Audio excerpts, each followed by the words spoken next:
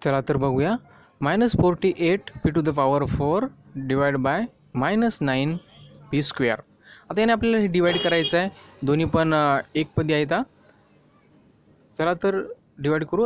आता डिवाईड करण्या अगोदर बघा अठ्ठेचाळीस आणि नऊ हे नऊने अठ्ठेचाळीस भाग जात नाही त्यासाठी दोन्ही संख्येला सारख्या संख्येनं भाग जाईल अशी संख्या शोधा. ती म्हणजे तीन आणि तीनने अठ्ठेचाळीसला भाग दिल्यानंतर उत्तर येते सोळा आणि नऊ नऊला भाग दिल्यानंतर उत्तर येते तीन. मग हे आपल्याला हे याच्या पटीत आहे हे आपल्याला समजते. अठ्ठेचाळीस नऊच्या किती पटीत आहे हे आपल्याला याच्यावर समजते? नाही दा. आता भागाकाराच्या रूपात मांडून घेऊ.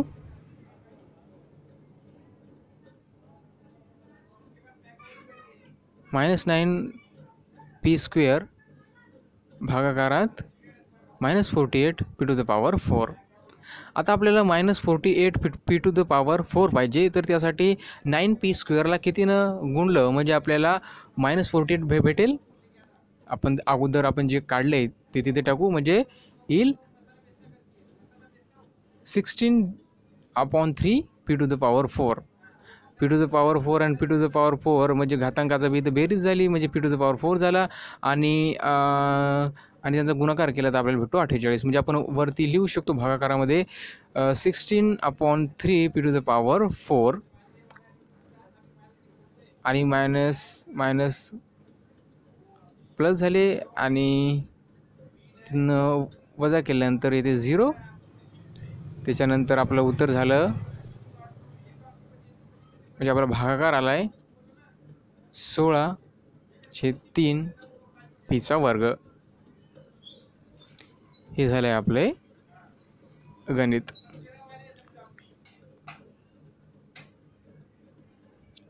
नंतरचं गणित बघू आता चौथं. चाळीस एमचा घात पाच भागाकारात तीस एमचा घन. आता चाळीस आणि तीस आता तीसने चाळीसला भाग जात नाही. त्यासाठी चाळीस आणि तीस ह्या अशा संख्या आहेत की ह्या या दोन्ही संख्येला कोणत्या संख्येने भाग जाईल? सारख्या एकाच संख्येने. ती संख्या सांगा. ती संख्या म्हणजे आपण दहा घेऊ.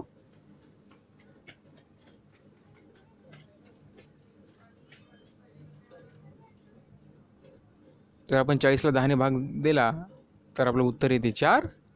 आणि तीसला दिला तर आपलं उत्तर येते तीन. म्हणजे झालं आपले चारशे तीन म्हणजे चाळीस हे तीसच्या ह्या संख्येच्या पटीत असतात. म्हणजे आता बघू आता आपण याला भागाकाराच्या रू रूपात घेऊ. चाळीस यमचा घात पाच भागाकारात तीस चा घन. चला आता भागाकार करूया. आता आपल्याला चाळीस यमचा घात पाच हा गुणाकार हवा असेल तर तीस यमचा घनला कितीने गुणावे लागेल आता घातांकाची बेरीज होते गुणाकार ते आपल्याला माहीत आहे त्यासाठी काय काय घ्यायला घ्या घ्यावं लागेल? यमचा स्क्वेअर आणि इथं किती आहे? यमचा स्क्वेअर घ्यावा लागेल. आणि आपल्याला अगोदर आपण काढलेलं आहे म्हणजे चारशे तीन तिथं घ्यावं लागेल. चारशे तीन. यमचा स्क्वेअर म्हणजे घातांकाची बेरीज होते म्हणून. मग आपण भागाकारात लिहू शकतो.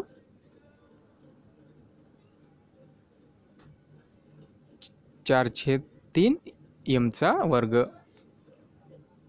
तर अशा प्रकारे हे पण गणित आपण अशा प्रकारे सॉल्व करू शकतो.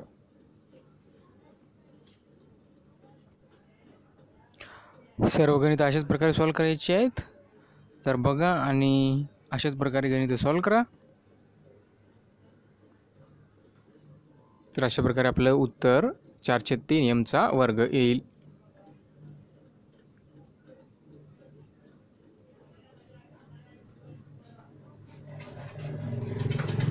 त्याच्यानंतरचं आपण गणित बघू. पाचवं. पाच एकचा घन वजा तीन एकचा वर्ग. भागाकारात एकचा वर्ग.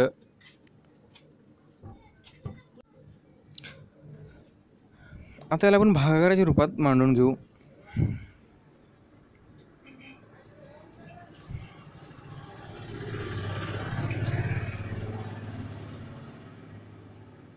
पाच एकचा घन वजा तीन एकचा स्क्वेअर किंवा वर्ग.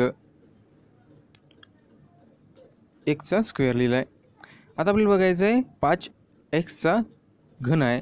तर पाच एकचा घन आपल्याला भा गुणाकार हवा असेल तर आपल्याला एक्स स्क्वेअरला कितीने गुणावं? म्हणजे आपल्याला पाच एकचा घन भेटेल. त्यासाठी आपल्याला घ्यावं लागेल पाच एक्स.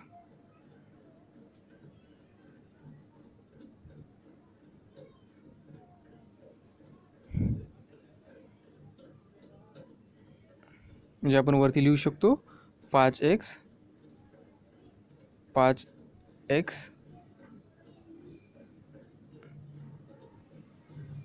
ठीक आहे. आता आपण वरची राहिलेली आहे ती संख्या आता खाली घेणार. वजा थ्री एक्स सास थ्री एक्सचा वर्ग. आणि ते चुकून माझा फाईव्ह एक्सला क्यूब द्यायचा राहिला आहे थ्री एक्स थ्री एक्सचा वर्ग आपल्याला हवा असेल तर एक्स स्क्वेअरला आपल्याला कितीने गुणावं लागेल? तर थ्री एक्सने गुणावं लागेल. वजा पाहिजे असेल तर थ्री एक्स वजा घ्यायचं आहे आपल्याला वजा हवं आहे त्यासाठी आपण तीन एक्स वजा घेतले. सॉरी तीन. बाकी येते झिरो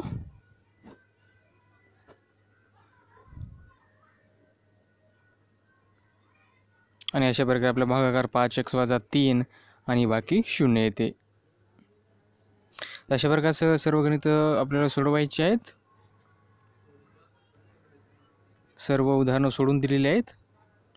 ते बघा आणि तसे सॉल्व करण्याचा प्रयत्न करा.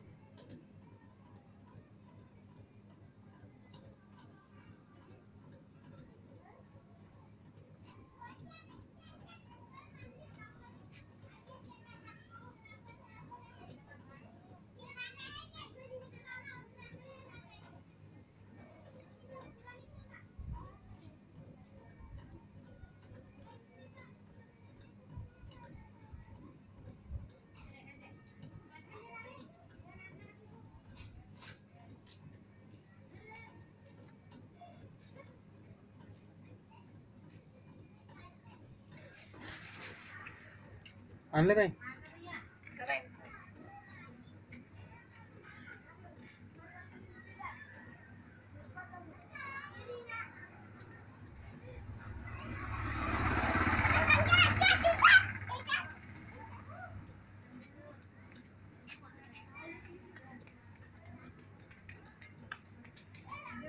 गणपतीच्या वेळेस तसंच सलाईन घ्यायचं घेऊन दिलं नाही ते बघा फिरून.